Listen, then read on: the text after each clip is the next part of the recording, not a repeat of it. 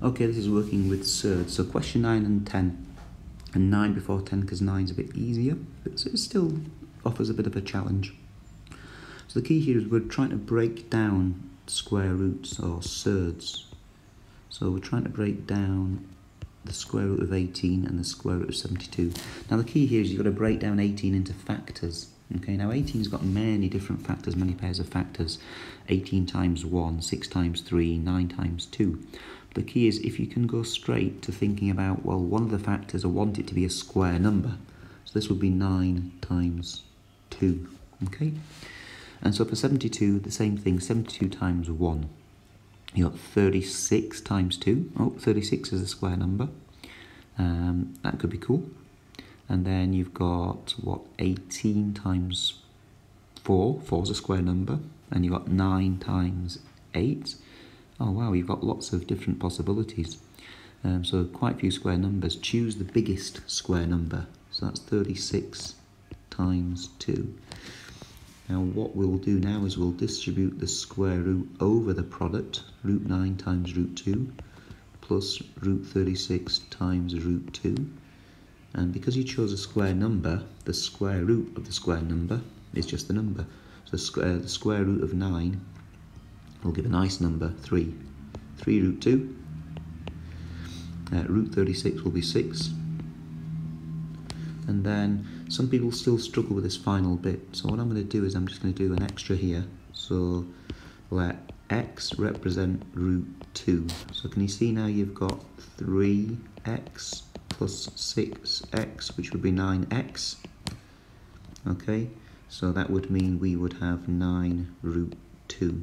So you might not need that last step because look, here you've got 3 root 2's plus 6 more root 2's, so that is 9 root 2's. Okay, so that's the key, is just breaking it down and making sure you've got some, you know, the highest square number possible. Okay, the second one's a little bit trickier. So you can see the keyword rationalise. Now at the moment, rationalise the denominator. So the denominator at the moment is 3 plus root 2. Now 3 plus root 2 doesn't have ratio numbers in, it has surds in, it has irrational numbers. So we've basically got to make sure that we try and get rid of the root 2 somehow. And, and there's many ways of, of trying it, but I think you guys have got the experience. In fact, just about all of you managed to understand that to get rid of the root 2, I times by 3 minus root 2. But to keep things balanced, I've got to times the top by 3 minus root 2. Okay. Now, I think the key for this question is put a bracket, bracket, bracket, a bracket. Okay. And now let me just take this guy here. Just move it down here so I've got a bit of space. Okay. Now, the denominator was done pretty well. 3 times 3 is 9. Minus 3 root 2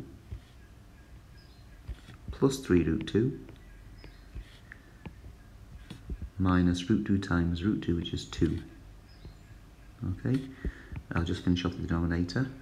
You can see that minus 3 root 2 plus 3 root 2 cancels out? 9 minus 2 is 7.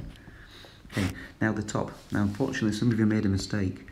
This 14 root 2 isn't 14 plus root 2. It's not 14 minus root 2, it's just a single number.